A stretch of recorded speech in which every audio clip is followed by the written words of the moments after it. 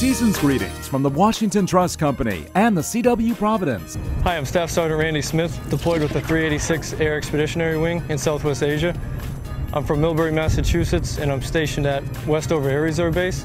And I'd like to say hi to my family and friends, my daughter, my girlfriend, and I'd like to wish you guys a Merry Christmas and Happy New Year, and I'll see you guys soon. This holiday message was brought to you by the Washington Trust Company and the CW Providence, wishing all a happy and joyful holiday season.